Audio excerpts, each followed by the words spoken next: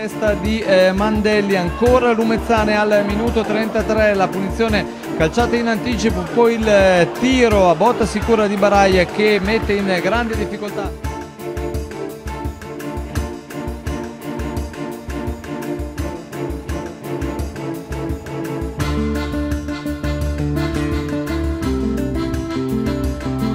Questo match ma prima ci sono altre emozioni in area bianco-rossa guardate cosa deve parare Sportiello sulla punizione calciata da eh, Marcolini